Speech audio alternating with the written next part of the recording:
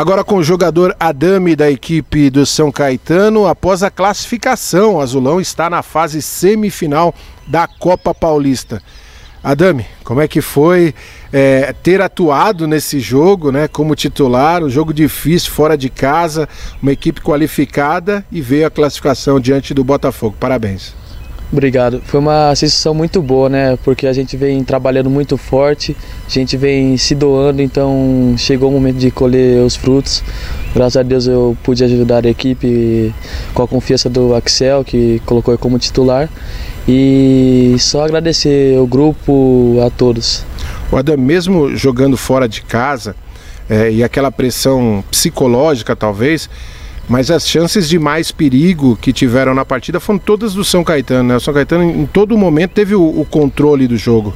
Sim, independente da gente ter feito o resultado em casa, a gente entrou para explorar os contra-ataques, principalmente é, a gente sabia da velocidade que a gente tinha e alguns pontos da equipe do Botafogo e conseguimos aproveitar alguns contra-ataques, alguns faltou uma definição melhor, mas conseguimos finalizar um e fazer o gol que resultou nessa classificação. Uma coisa também que ficou muito clara, as várias triangulações do time, né? Esse time quando é, pega um gramado com uma condição melhor de jogo, ele consegue trocar bem passes, mesmo os jogadores que de repente não estavam atuando tanto, mas entram e conseguem. Qual que é essa qualidade técnica que o time mostra tanto nas partidas? Ah, nosso grupo é um grupo muito qualificado, tanto tecnicamente, taticamente, então as triangulações saem natural, né? É, ainda com a ajuda do campo que possibilita que aconteça as triangulações das ultrapassagens laterais, às vezes até do próprio volante, como aconteceu no jogo. Então é algo que flui naturalmente. Adame, fala um pouco da sua carreira aí, como você chegou aqui no São Caetano. O torcedor está feliz da vida com a sua partida de ontem, com a classificação, mas fala um pouquinho mais também sobre sua carreira para ele.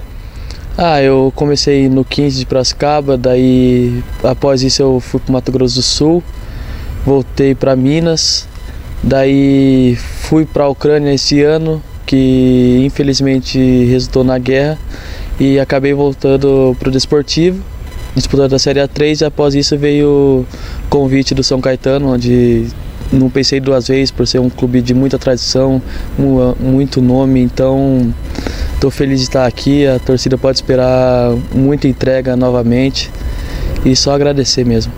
Legal.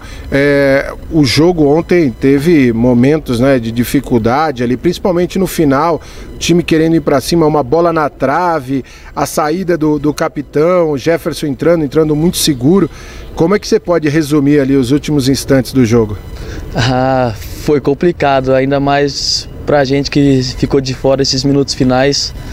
Foi um teste para o nosso coração mesmo, porque aquela bola na trave parece que congelou tudo, todo mundo parou e foi em câmera lenta, mas graças a Deus deu tudo certo. O Jefferson entrou muito bem também, sabemos da qualidade dele, da confiança que temos por ele e sabemos que vai cumprir o, o tudo que é esperado dele. E agora, dá para escolher adversário? Como é que fica a cabeça do atleta? É descansar depois de um jogo tão difícil e, enfim, começar a trabalhar independente de quem vir, né? Faltam quatro partidas para o título, duas partidas para poder chegar na grande decisão e poder ter o calendário nacional. Como é que está o grupo em relação a isso?